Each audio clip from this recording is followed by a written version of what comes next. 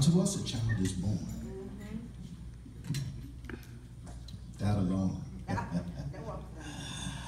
For unto us a child is born, and unto us a son is given. How bad is this son, Tony? Well, the government shall be upon his shoulder. How bad is it, Tony? And his name shall be called. he got a name like no other name, y'all. He can't be compared. He can't be. Um, uh, uh, uh, there's no contrast. There's there's he, there, he's in a class all by himself. He, he, the Bible says he shall be called Wonderful Counselor. He shall be the mighty God, the everlasting Father. And then to kind of seal it, he's going to be the Prince. Not the Prince of Confusion. Jehovah Shalom, the Prince of Peace. Of the increase of his government and peace, there shall be glory to God. This son, there ain't going to be no end to him. Uh, upon the throne of David and upon his kingdom to order it and to establish it with judgment and with justice from henceforth, even forever. The zeal of the Lord of hosts will perform this. Just for a moment, since we are here at a celebration, at a celebration, we like to talk about the person we're celebrating.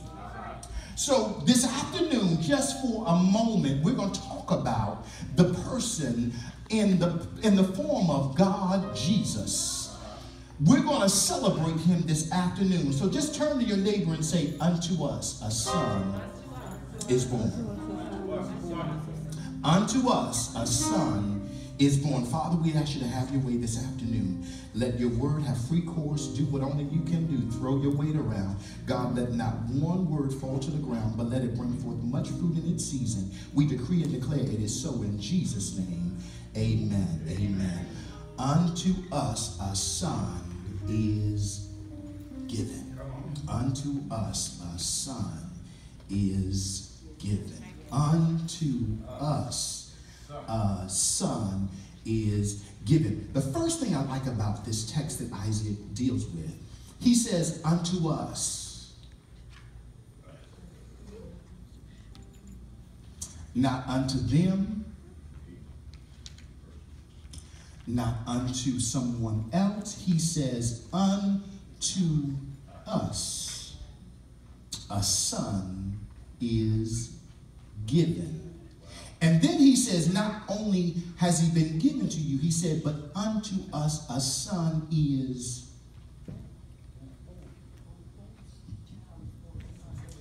Now, now, the significance of unto us a son is born is because God said, I'm coming unto us. I'm going to put on some flesh and I'm going to be born I'm going, get this, y'all. I'm going to be not only familiar with them, I'm not only going to be God to them, I'm going to be God. No, not yet. That's with the New Testament. That's after. Acts. I'm going to be God with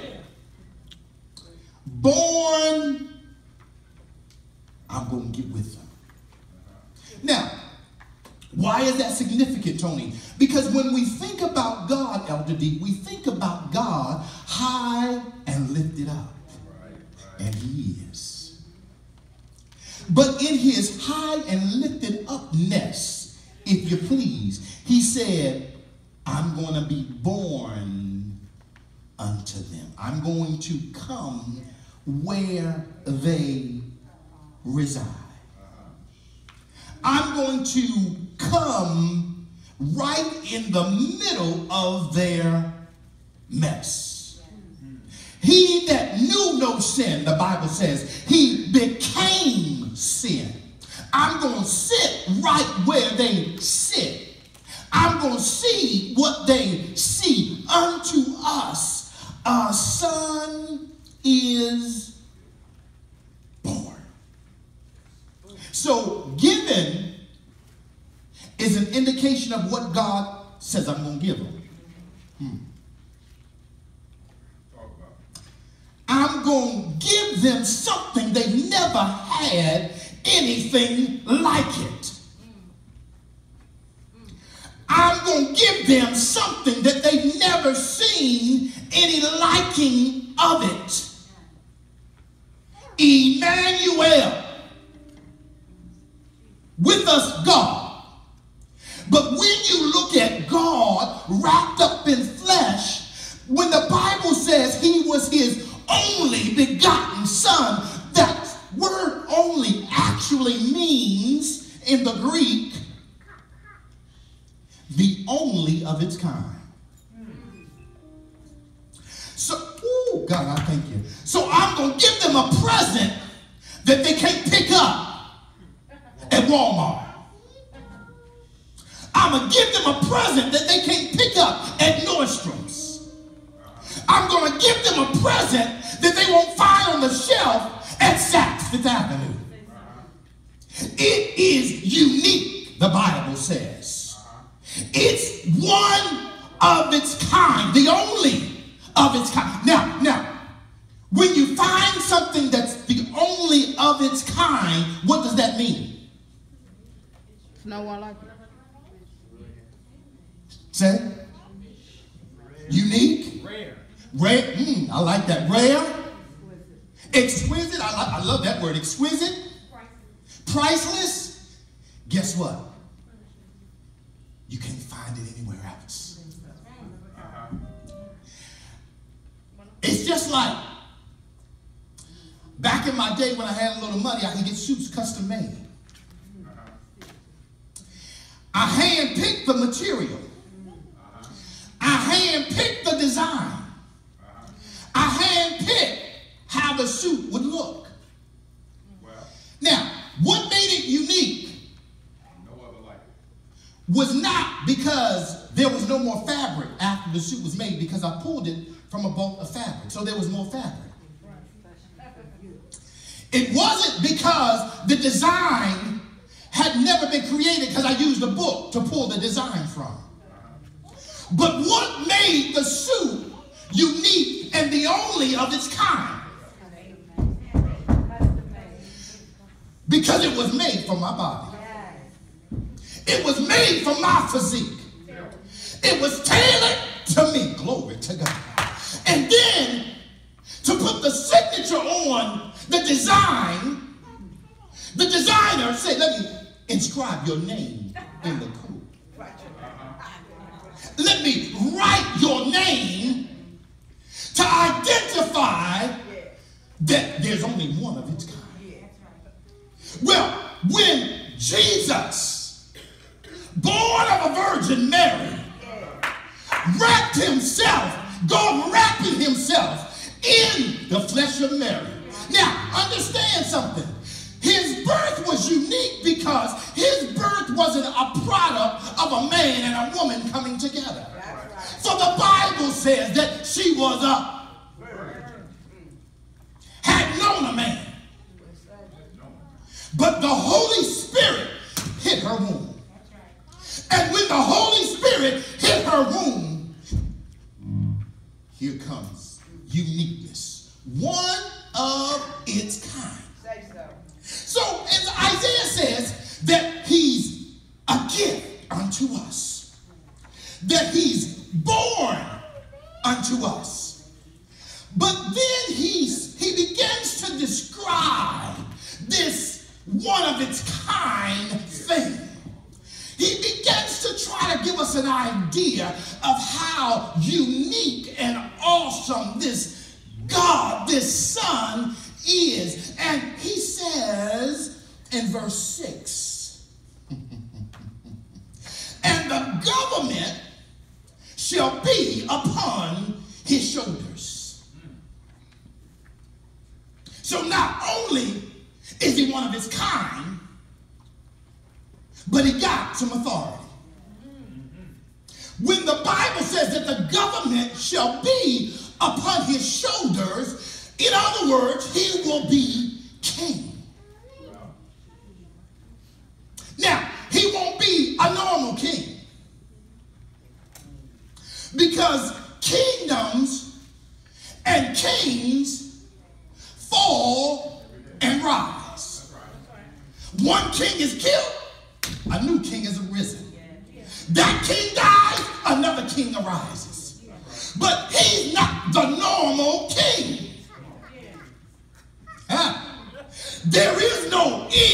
To his reign.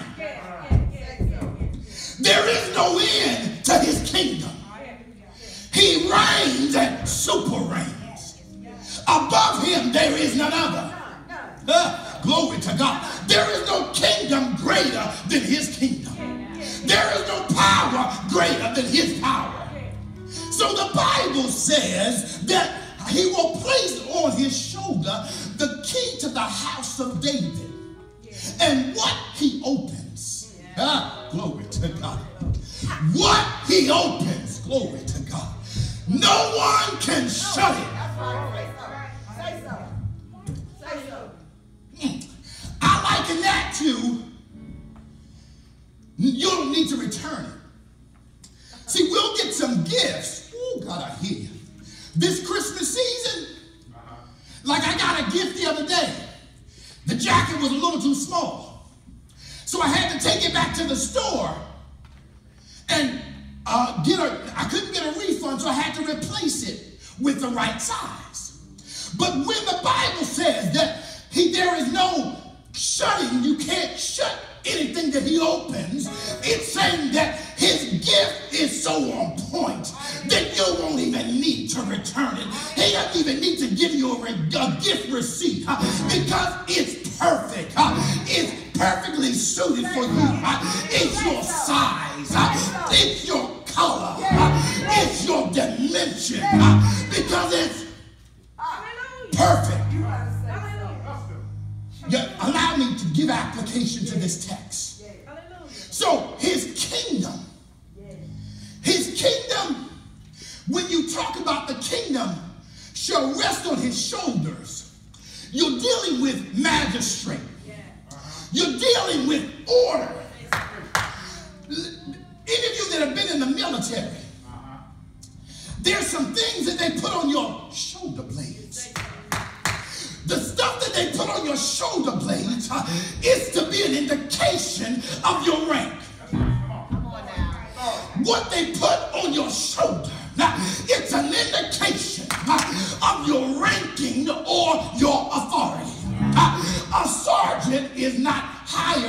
Marcus? A lieutenant. A lieutenant is not higher than a general. A general is not lower than a captain.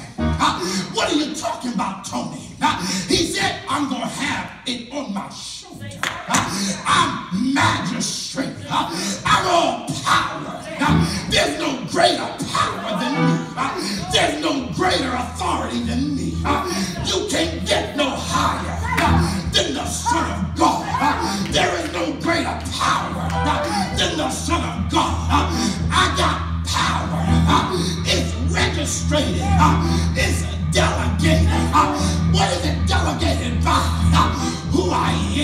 I'm the Son of God. I was with God in the beginning. In the beginning was God. I was there. So he said it's going to rest on his shoulder. Notice what else Isaiah said. He said the government shall rest on his shoulder. And then he gives them a name. What does he call them next, Tanya? He says he's wonderful. That word wonderful is a superlative. That word wonderful is to give you an indication of how full of wonder it is